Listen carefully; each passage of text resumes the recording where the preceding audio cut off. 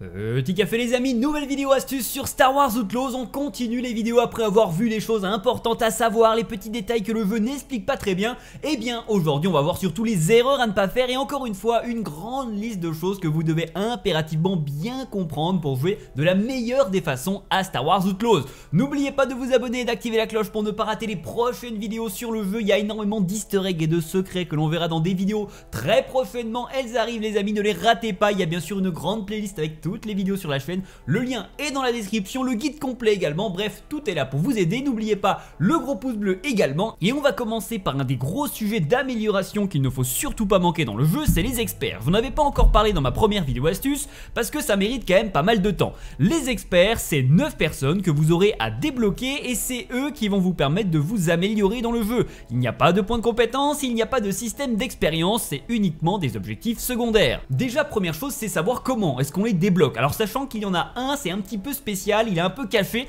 on en reparle à la fin de la vidéo. Mais pour les 8 autres, c'est simplement en avançant dans l'histoire, vous débloquerez un indice, une première mission à aller faire sur les différentes planètes que vous aurez à visiter. Ils se débloquent vraiment un peu tous au fur et à mesure de l'aventure, mais ils ne sont pas directement débloqués sauf pour les deux premiers. Mais pour les autres, vous aurez forcément à aller faire la mission de l'expert. Et on avait vu dans la première vidéo qu'avant d'avancer dans l'histoire, c'était très intéressant de maximiser le plus rapidement possible le niveau de réputation avec les clans. C'est la même chose avec les experts. N'avancez pas dans l'histoire tant que vous n'avez pas débloqué les experts de chaque planète. C'est vraiment très simple, ce sont des petites quêtes secondaires, vous pourrez les repérer assez facilement sur la carte. Ça peut être soit une quête qui est directement débloquée, soit des fois des rumeurs, il y aura peut-être des petits indices à aller chercher à gauche à droite, mais rien de très difficile, vous devriez y arriver sans trop de problèmes. Il y a même dans votre journal des quêtes une catégorie exprès qui s'appelle les informations d'experts où vous retrouverez la liste de tous ceux que vous avez débloqués, faites-le le plus rapidement possible au fur et à mesure. Et ensuite bien entendu une fois que vous les aurez déverrouillés, vous pourrez voir la très grande liste de capacités qui vont vous aider sur de nombreuses choses, que ce soit au niveau du combat, au niveau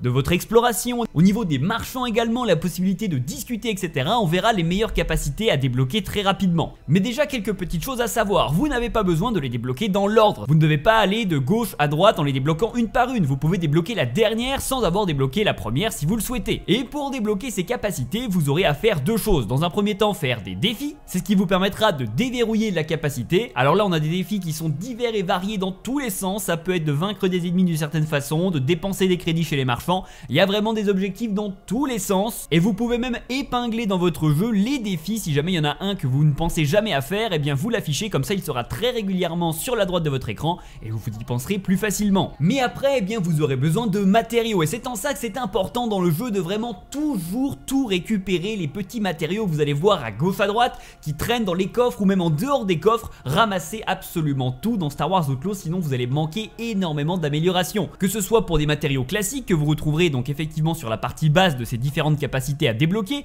mais il y a également au-dessus un matériau beaucoup plus rare, qui est donc beaucoup beaucoup plus difficile à trouver, qui existe seulement en quelques exemplaires, mais bonne nouvelle, c'est que le jeu vous a simplifié la chose en impliquant un indice. Vous saurez en lisant le petit indice qui est en dessous où est-ce que vous pourrez trouver plus facilement ce matériau. Par exemple ici pour la maille de fer, on sait que l'on peut trouver ça chez les tailleurs, qui sont donc des marchands, vous pourrez leur acheter ces matériaux directement, et de manière générale, il est souvent beaucoup plus simple d'acheter les matériaux dont vous avez besoin, plutôt que d'espérer les trouver quelque part. Certes, ça coûte un tout petit peu plus d'argent, mais c'est beaucoup plus efficace. Et puis pour d'autres, ce sera même encore plus simple, puisque vous aurez parfois un emplacement précis sur la carte avec un campement dans lequel vous allez pouvoir vous rendre pour aller eh bien fouiller et notamment peut-être trouver un coffre bien précis à cet endroit là, c'est ce qui vous permettra d'avoir les ressources. Donc pensez bien à utiliser les indices que le jeu vous donne. Alors il y en a vraiment dans tous les sens de ces capacités, ça va être intéressant de les débloquer au fur et à mesure, mais il y en a quand même certaines qui sont un peu plus intéressantes que d'autres à débloquer rapidement. Et je pense par exemple et eh bien notamment à l'expert de la pirate que vous devez impérativement débloquer rapidement. Vous aurez le début de sa quête sur la planète de Mirogana et après faudra suivre les différents objectifs, c'est assez facile à faire et surtout assez rapide à débloquer dans les premières heures de jeu. Le fait de débloquer la pirate va vous permettre de débloquer la capacité de piratage avancé, vous permettant alors de pirater tous les terminaux du jeu sans quoi il y en a certains, notamment les plus avancés qui vous seront bloqués, vous ne pourrez rien faire. Si vous voulez absolument tout ouvrir absolument partout, que ce soit pour les missions principales, pour les objectifs secondaires ou encore pour les ressources, vous avez besoin de ce kit de piratage avancé. Et puis pendant qu'on parle du piratage, c'est peut-être la plus grande grande astuce sur Star Wars Outlaws, mais je suis persuadé que certains n'ont pas attendu pour le faire, c'est bien entendu d'aller dans les paramètres de jouabilité et de désactiver directement les mini-jeux de piratage et également de crochetage. Puisqu'effectivement, vous l'avez vu, ils en ont foutu absolument partout de ces mini-jeux, mais ça on le savait déjà, on l'avait vu, hein, notamment quand j'avais fait mes previews avant la sortie du jeu, et c'est clair que c'est beaucoup et pas très intéressant, et clairement vous n'allez rien manquer à les désactiver totalement. Alors ne soyez pas surpris, ça va pas les enlever, vous serez obligé quand même d'interagir avec la serrure ou le piratage, mais ça va simplement les rendre automatiques, vous n'aurez pas à résoudre la situation, vous avez simplement à l'activer n'importe comment et vous allez pirater automatiquement sans même vous embêter à résoudre la situation. Et ça va vraiment vous simplifier la vie. D'ailleurs pendant qu'on est dans les paramètres, il y en a d'autres qui sont très intéressants, qui pourront clairement vous simplifier la vie. Notamment, eh bien, quand votre blaster surchauffe, vous l'avez vu, vous devez appuyer au bon moment pour le faire refroidir, c'est bien mais au bout d'un moment c'est assez embêtant. Si jamais ça vous embête ça, bah, vous pouvez également activer le paramètre de refroidissement automatique qui vous permettra d'appuyer un peu n'importe quand. C'est clair que c'est un peu moins orienté hardcore gamer mais c'est tellement plus confortable.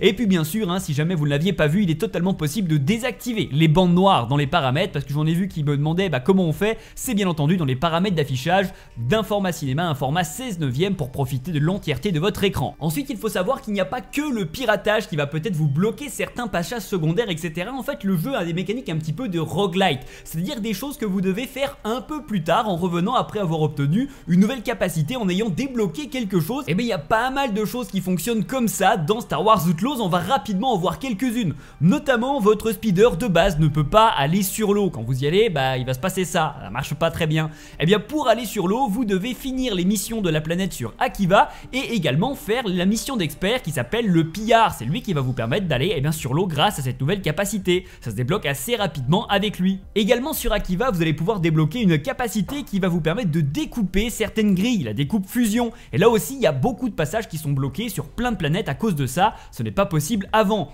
Ou encore, on pourrait bien sûr parler du tir puissant avec le blaster qui permet de briser des murs avec des fissures jaunes. Ça, c'est lié à l'histoire dans le jeu, dans les premières planètes, donc vous débloquerez assez rapidement. Mais si vous avez essayé d'explorer très tôt, eh bien vous êtes peut-être tombé face à ce genre de problème et vous saurez que c'est plus tard qu'on peut les résoudre. Également d'ailleurs très intéressant, si jamais justement vous tombez sur des choses que vous ne pourrez pas récupérer tout de suite, bah pensez bien à utiliser l'une des fonctionnalités un petit peu secrètes de la carte de Star Wars Outlaws qui sont les annotations. Vous allez pouvoir placer sur la carte énormément de points avec des icônes différents, que ce soit un icône pour vous rappeler d'un trésor ou autre. Avec trois couleurs possibles et différents icônes, vous avez quand même pas mal de possibilités pour vous rappeler de tout ce que vous pourriez éventuellement aller rechercher plus tard, alors n'hésitez pas à vous amuser et à placer des annotations. Pour reparler rapidement des meilleures améliorations à débloquer rapidement, l'une des premières que vous pourrez débloquer qui est assez intéressante, c'est le maillot de corps blindé qui est disponible avec le barman, l'un des premiers experts que l'on débloque. Ce maillot va vous permettre d'augmenter votre santé maximale et vous manquez quand même de santé assez rapidement au début du jeu, alors n'hésitez pas à la déverrouiller rapidement. Autre truc qui pourrait être intéressant, mais cette fois-ci plutôt dans la deuxième moitié du jeu, c'est de nouveau avec le pillard, donc sur la planète de Akiva, vous pourrez débloquer l'aiguillon à électrochoc. Cet aiguillon va vous permettre d'éliminer tous les ennemis discrètement, alors que sinon de base ce n'est pas possible. Les ennemis les plus costauds, vous ne pouvez rien faire, et le jeu vous dit, eh ben, vous avez besoin justement de l'aiguillon. Donc pour ça vous aurez besoin de quelques ressources tout de même et d'un émetteur à trouver également sur la carte un endroit bien précis, il y a tous les indices pour vous aider à débloquer ça sur la planète de Akiva. Et autre point où il sera intéressant de faire des améliorations, c'est sur vos véhicules que vous allez utiliser à de très nombreuses reprises, que ce soit votre speeder mais également votre vaisseau. Pour le speeder, l'amélioration de vitesse n'est pas spécialement nécessaire au début, vous allez quand même assez vite par contre d'augmenter sa capacité à encaisser les dégâts ou encore à encaisser les chocs, et eh bah ça peut être intéressant parce qu'effectivement vous allez faire de nombreux sauts et malheureusement bah certains ne vont pas passer si vous n'avez pas amélioré la capacité justement d'encaisser certains chocs. Mais encore plus important, c'est dans le Trailblazer, je vous recommande eh bien d'aller chercher des améliorations notamment pour votre armement. De base, vos tirs ne font pas beaucoup de dégâts et vous allez vraiment galérer à éliminer les ennemis dans l'espace. Et vu que vous êtes obligé d'y aller quand même à de nombreuses reprises, pensez bien à mettre des améliorations dessus. Et d'ailleurs, pendant qu'on parle de l'espace, il y a des moments où vous allez peut-être croiser des énormes vaisseaux, ça fait partie des vaisseaux un peu légendaires du jeu. Au début du jeu, ils sont beaucoup trop difficiles, n'essayez pas de les combattre, il sera bien plus simple de retourner plus tard, une fois que vous aurez suffisamment amélioré votre Trailblazer. C'est un peu la même chose au sol avec les Death Troopers, si vous arrivez au niveau de recherche maximum, vous commencerez à avoir de sérieux problèmes, et notamment les Death Troopers au début sont assez difficiles à battre. Donc là aussi, pensez bien à améliorer votre blaster dès que possible avant d'améliorer vos capacités. C'est là que peut-être vos crédits et vos ressources sont le plus important, en sachant que si vous êtes recherché au maximum et que ça vous embête trop, le mieux étant de simplement décoller dans l'espace, aller sur une autre planète et revenez et vous aurez perdu votre niveau de recherche. C'est beaucoup plus simple que de s'embêter. Et donc effectivement, vous avais dit au début qu'il y avait un dernier expert un peu plus secret que les autres à débloquer, il est au centre, il s'appelle le vétéran, et le jeu ne vous dit pas qu'il existe, hein. mais effectivement il est bien possible de débloquer ça, et en plus c'est très intéressant parce que vous aurez de très bonnes améliorations. Notamment c'est grâce au vétéran que vous pourrez avoir encore plus de santé pour Kay, ou encore avoir des améliorations de soins, ou encore une amélioration avec Nyx qui va pouvoir enchaîner deux ennemis de suite avec ses attaques, ce qui est vraiment très pratique parfois quand les ennemis ne sont pas tout seuls. D'ailleurs Nyx encore une fois, pensez bien en abuser totalement, et rappelez-vous vraiment qu'il est un allié de taille, notamment pour certaines zones où vous êtes un petit peu limite au niveau de la santé, et eh bien n'oubliez surtout pas de l'envoyer rechercher des soins. Les fameuses fioles de Bacta que vous obtiendrez sur les ennemis très régulièrement sont assez limitées au début du jeu,